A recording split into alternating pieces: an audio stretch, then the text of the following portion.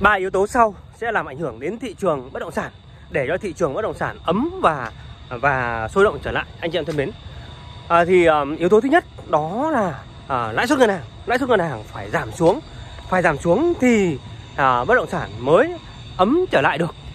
Nhưng khi mà lãi suất ngân hàng giảm xuống rồi thì cái việc mà à, lòng tin của người dân có trở lại với bất động sản hay không thì lại là vấn đề thời gian à, khi mà lòng tin của người dân à, với bất động sản um, trở lại thì chắc nó phải một hai ba năm nữa thì người dân mới tin tưởng vào bất động sản.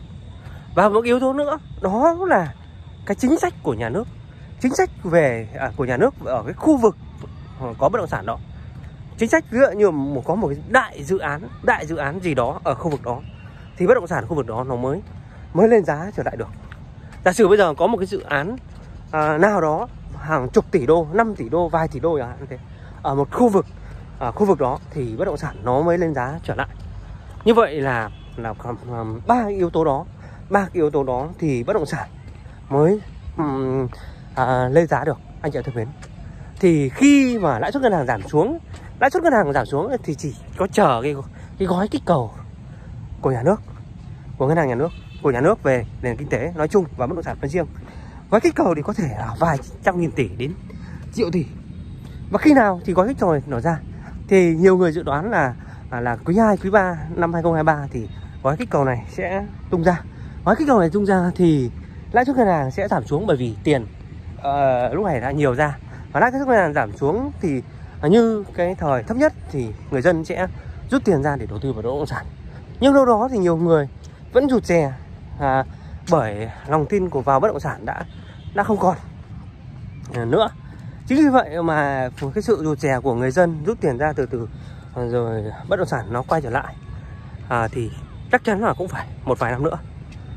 Và cái yếu tố cục bộ là yếu tố của chính sách nhà nước.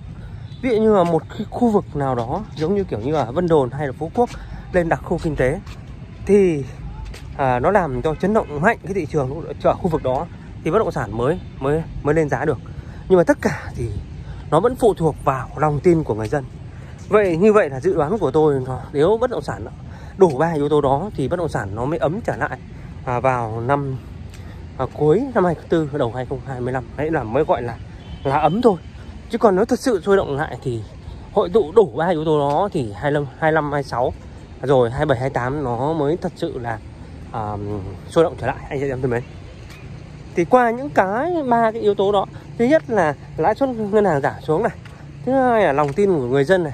Thứ ba nữa là chính sách của uh, chính sách chính sách của mà cái khu vực của cái à, à, nơi bất động sản đó. Có chính sách gì?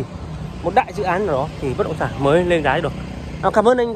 À, như vậy thì anh chị em à, hãy nhận định là năm nào bất động sản nó sẽ sẽ sôi động trở lại. 2023 cuối 2023 2024 hay là sang 2025 hay là 2026 đó, thì qua những yếu tố đó, thì mời anh em comment phía dưới nhận định cùng chức. Xin chào và hẹn gặp lại anh chị em ở các video tiếp theo.